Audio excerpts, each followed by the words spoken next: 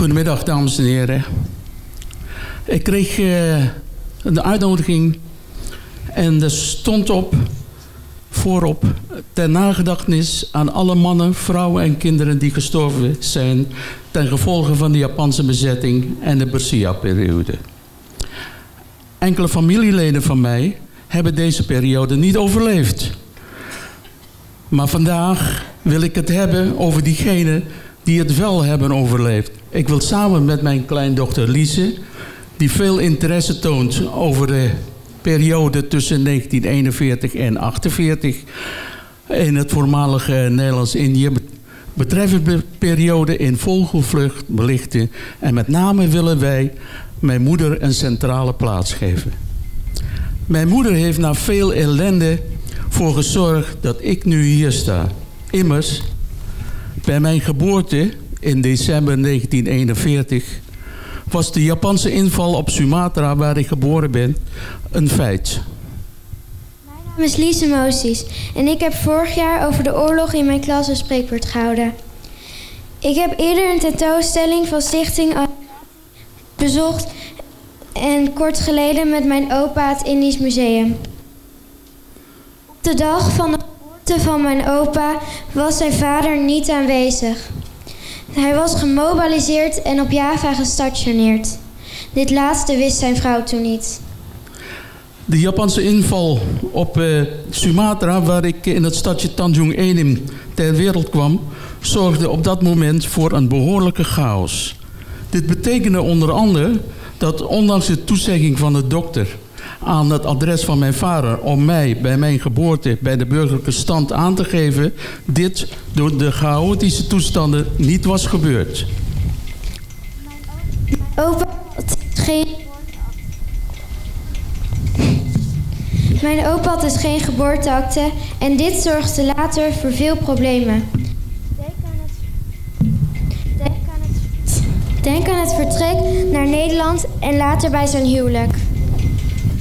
Om de naderende Japanse leger voor te zijn, besloot mijn moeder om uit mijn geboortestad te vluchten. Met een pasgeboren kind, en mijn moeder zelf was toen net 20 jaar, nam zij de laatste trein naar de kust om de oversteek te maken van Sumatra naar Java. Dit moet voor haar een helse tocht zijn geweest om op zo'n jonge leeftijd met een pasgeboren kind op de vlucht te slaan. Ook omdat ze een borstabsces kreeg en zij mij niet kon voeden. Via Jakarta en Bandung eindigde de tocht in Jogja. In Jogja verbleven we gedurende oorlogsjaren in, de, in een kamp voor daklozen en mensen zonder inkomen. Met heel, heel veel inspanningen en ontberingen heeft zij zich samen met mij het hoofd boven water weten te houden. Wat een sterke vrouw. Mijn opa werd als krijgsgevangene op, op transport gezet naar Birma, waar hij aan de beruchte spoorlijn te werk werd gesteld. Het was een zware tijd voor hem. Hier droomde hij van zijn zoon, die hij nog niet had gezien.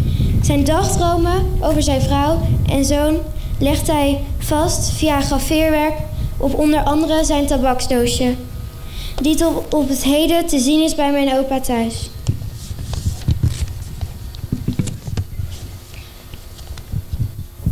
Na de Japanse capitulatie was de ellende nog niet voorbij. De Bersia-periode brak aan. Het bizarre was dat de agressor Japan, Japan ons kamp nu moest beschermen tegen de Indonesische vrijheidsstrijders. Toch wilde mijn moeder haar schoonmoeder in Garut bezoeken. Immers, ik was mijn oma's eerste kleinkind, die ze nog nooit gezien had. Op dat moment werd mijn moeder heel erg ziek en ging de reis naar Garut niet door. Dit was voor haar en voor mij, naar later bleek, een geluk. Want als wij waren gegaan, waren we net als mijn oma en enkele kinderen van haar ook vermoord door de Pemuda's. Mijn oma, een ras-echte Soedanese, was getrouwd met een Hollander. En dat kon niet. Hun lichamen werden in een put gegooid. Mijn overgrootvader had als krijgsgevangene de oorlog overleefd en kwam weer naar Indië terug. Maar hij zat nog bij de kniel. Hij moest direct in Bali in actie komen om deze regio te zuiveren van de vrijheidsstrijders. In Bali werd hij geplaatst naar Sumatra op een plaats vlakbij Palembang. Dit wist mijn moeder niet. En begon zij aan haar zoektocht naar haar man. Leefde hij nog? En waar zat hij? Deze zoektocht duurde twee jaar. Via het, via het Rode Kruis, waar mijn moeder elke dag naartoe ging, kreeg zij uiteindelijk te horen dat mijn vader in Pladjus zat, op Sumatra. Toen heeft ze met mij, ik was ondertussen bijna zes jaar, de tocht ondernomen om van Java naar Sumatra te gaan. Nu realiseer ik mij wat een sterke vrouw mijn moeder geweest is.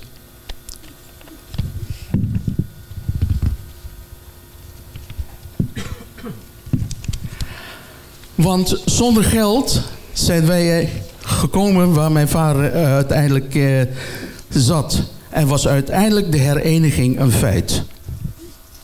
Toen zag mijn opa voor het eerst zijn vader en andersom. Deze kennismaking verliep in het begin niet lekker. Mijn opa heeft heel lang niet met zijn vader gepraat, want de vaderfiguur was hem onbekend. Maar later is het wel goed gekomen. Namens mijn opa en mijzelf dank ik u voor uw aandacht.